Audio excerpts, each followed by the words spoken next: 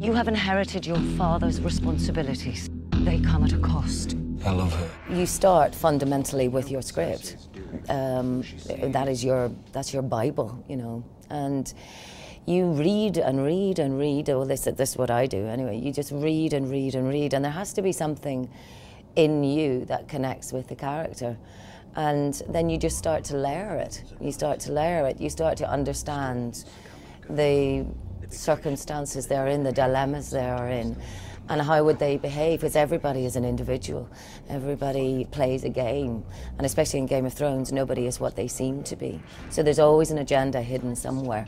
So it's it's about subtlety, but, a Catelyn is, is a passionate, loving, strong woman, and who's fiercely protective of her family, and she was in a very happy marriage to you know to Ned. I nearly said Sean. um, uh, so you know, ultimately she, you know, she. You can say that she starts off in a relatively happy place, but how happy is anybody in in the worlds of George R. R. Martin? You know, because there's so much peripheral stuff, which is bad energy, evil, power, revenge. Heard some of the men talking about the comet. Say it's an omen. The comet means one thing, boy. Dragons the craftsmanship and of the of the artisans involved in creating this world is just sublime. They're the best, absolutely. And you walk onto sets, and you are genuinely in a world. You have everything is original for that world.